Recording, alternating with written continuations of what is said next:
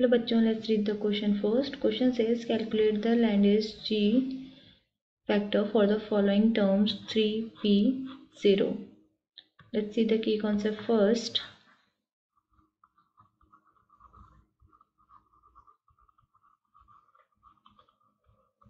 Here the key concept is value for g is 1 plus j into j plus 1 plus s into s plus 1 minus l into l plus 1 divided by 2j j plus 1 where j is total angular momentum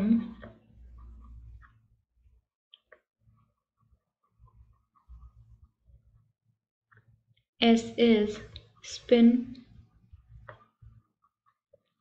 angular momentum L is orbital angular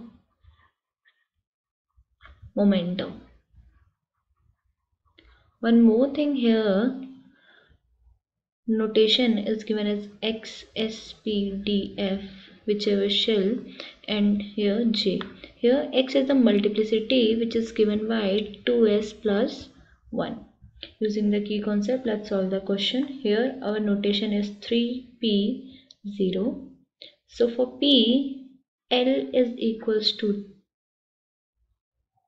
1 and S, we will found the value of S by, we know here 3 is the multiplicity, so 3 will equal to 2s plus 1 so the value for s will be 1 and j here is 0 this thing here is the total angular momentum j which is 0 here.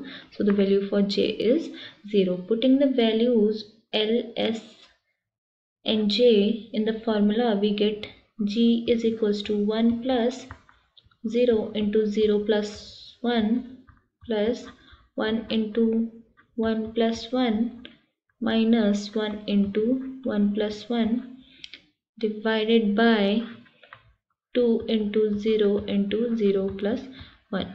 So here we will get the undetermined value.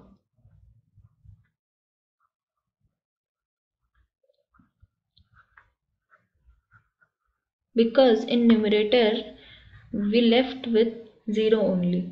So whenever j is equals to 0, we will get the undetermined value for g. Hope you understood it well. Thank you.